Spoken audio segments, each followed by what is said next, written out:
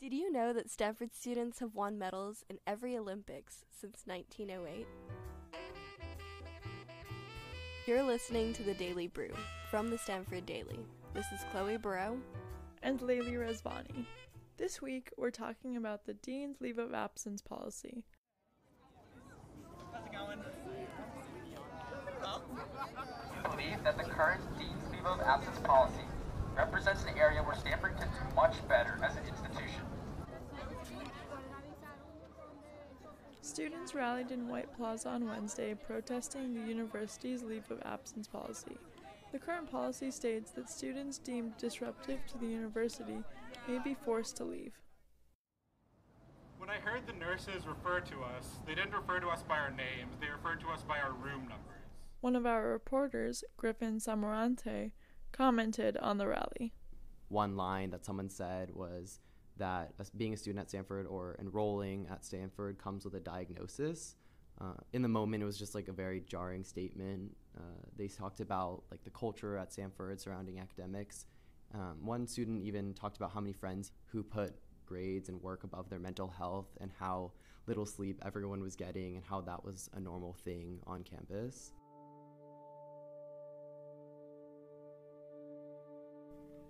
Won Gi Jung spoke to Terrence Zhao, one of the organizers of the rally. Sophomore year, I wrote an op ed for the Daily. It was a letter to my community, the LA suburb that I grew up, where mental health was taboo. We had um, a culture in our schools that was just so deeply toxic to everyone's mental health because it was so focused on achievement and just feverishly sort of working as hard as you could. I, I, mean, I was not sleeping enough. I don't think anybody was really sleeping enough. That article went viral in my community where mm, like teachers at my high school were sharing it. Like it got thousands of clicks and people were like reaching out to me saying either thank you or oh my god, this needed to be said.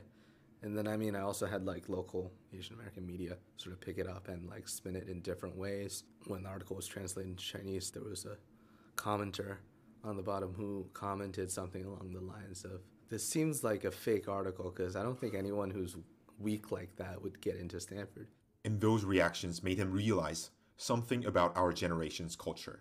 We are sort of at the epicenter of it all. Stanford students have had to not only be part of the system, but be part of the quote unquote top of the system where exposure to those kinds of stressors are quite high. Our work and our lives, frankly, being this pressure cooker environment. And that's, you know, that's concerning to me. So the article got posted.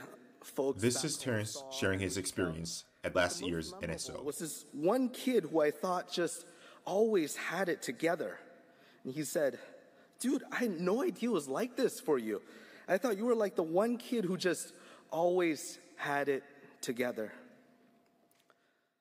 Afterwards, I invited a couple of friends. And afterwards, one of them said to me was, you might be like the first person who is a peer who's ever talked to them, to some of them about mental health. And my first immediate thought was like, oh my God, that can't be right. That just can't be right. And then I thought about it was like, yeah, if someone had talked about mental health at my NSO, they would have been the first one. What do you think about the dean's leave of absence policy? The dean's leave of absence policy is um, quite flawed. I'm not going to say that it, we shouldn't have a policy where it makes the university possible to remove students from campus for their health, but the important thing is that it should be um, a policy that's designed to protect students' health most of all. Terrence went on to describe how the policy charges a late housing termination fee when the students are involuntarily removed from housing in the middle of the quarter. According to this policy, students also lose at least a quarter of guaranteed housing.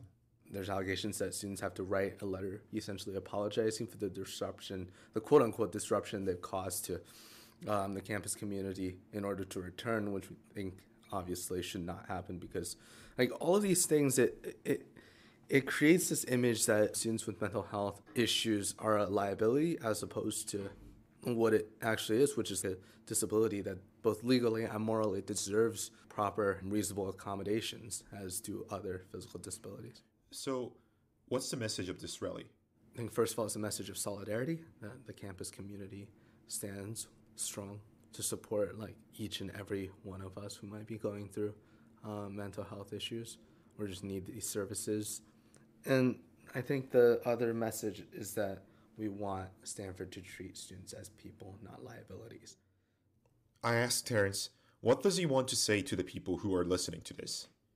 He said he didn't have a single message that can apply to all, because mental health issue, it's something so personal, something that cannot be and should not be generalized. But he said this.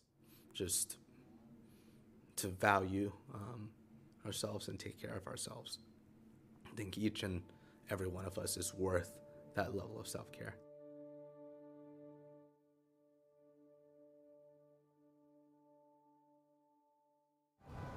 And for those of us who struggle with mental health issues, Stanford's culture only makes it worse.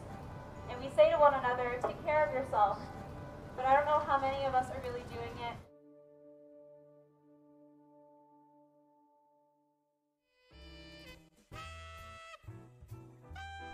This episode was led by Chloe Barreau and Leily Rezvani, with help from Won Gi Jung and Griffin Somaratne.